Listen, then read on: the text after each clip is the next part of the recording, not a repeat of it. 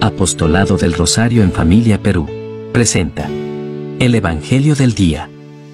Lectura del Evangelio según San Lucas. Gloria a ti, Señor.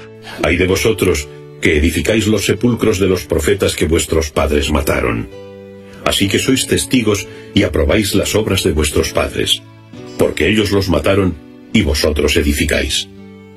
Por eso dijo la sabiduría de Dios, les enviaré profetas y apóstoles, y algunos los matarán y perseguirán, para que se pida cuentas a esta generación de la sangre de todos los profetas que ha sido derramada desde la creación del mundo, desde la sangre de Abel hasta la sangre de Zacarías, asesinado entre el altar y el santuario.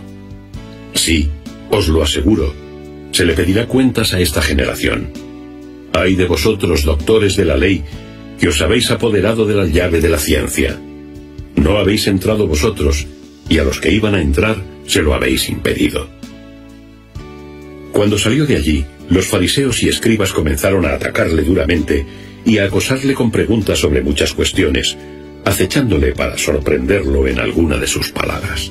Palabra del Señor. Gloria a ti, Señor Jesús. Familia que reza unida. Permanece unida.